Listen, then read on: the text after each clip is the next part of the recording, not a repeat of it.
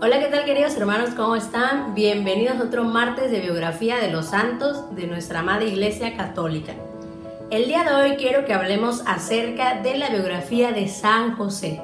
Pero antes de empezar, me gustaría que me ayudes a compartir este video, a que te suscribas, a que comentes, a que des un like, para que todos juntos vayamos en ese camino de la santidad como lo fueron los grandes santos de nuestra amada Iglesia Católica. Comenzamos.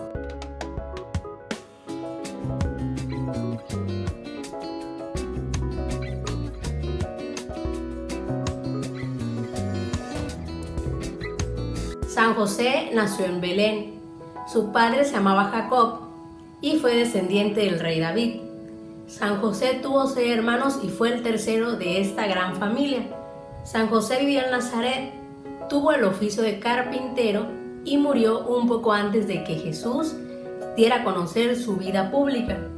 Según la tradición de la Iglesia Católica en ese entonces, San José a la edad de 30 años fue llamado por los sacerdotes para que fuera a la representación de que buscaran alguna esposa.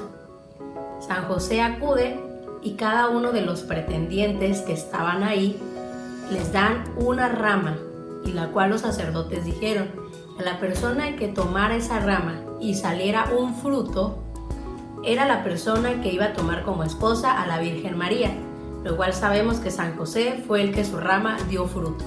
La tradición transmite a San José de que tiene muchos talentos y muchas virtudes, con un temperamento de humildad, de unidad, de paciencia, de docilidad, del amor y sobre todo de protección a la familia.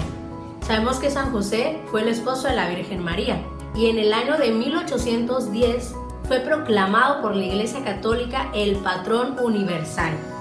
Y también se le conoce a San José como patrono de los carpinteros y moribundos.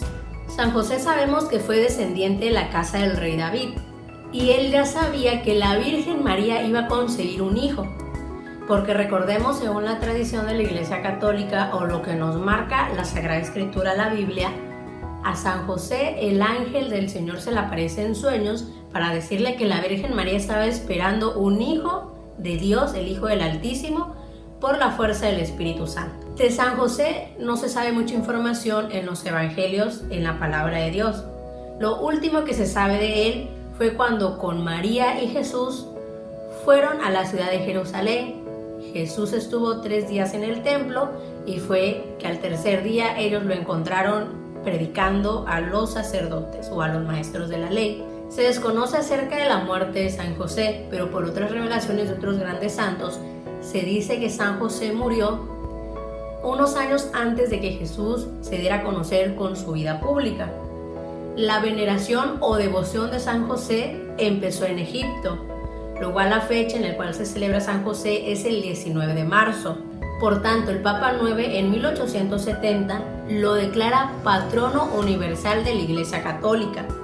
Cien años después, en el año de 1955, el Papa XII instituye a San José como San José Obrero y su fiesta vendría siendo el primero de mayo.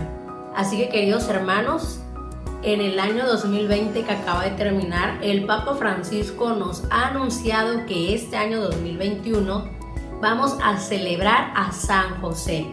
Así que pues cada uno de los familiares, cada uno de los hombres del hogar, recemos todos los días a San José pero también pidamos la intercesión de San José para que así como cuidó y custodió a la Sagrada Familia, pues él igual pueda custodiar cada uno de nuestros pensamientos, nuestras actividades, todo lo que hacemos día con día. Igual recuerda que podemos ganar indulgencia plenaria todo este año por la celebración de San José, para que así todos juntos vivamos esta celebración con mucho amor y con mucha alegría, como lo marca Dios.